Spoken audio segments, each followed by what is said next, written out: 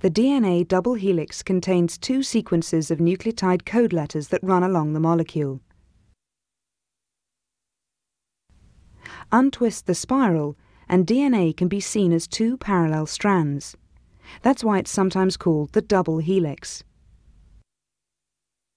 Unzip the strands and you have two linear sequences of the letters A, C, G and T.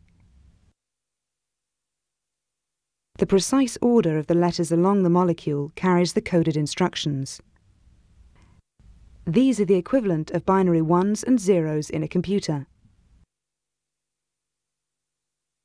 One strand is a complementary image of the other.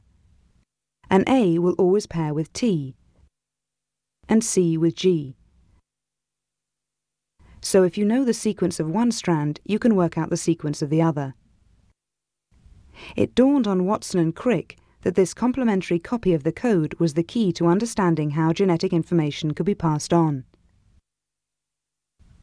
So the essence of life could be explained with chemistry. There were no mysterious life forces.